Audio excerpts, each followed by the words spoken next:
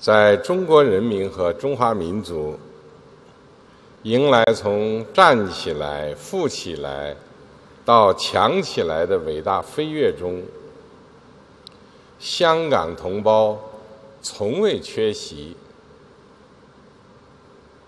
当前，香港正处在由乱到治、走向由治及兴的新阶段。未来五年是香港开创新局面、实现新飞跃的关键期。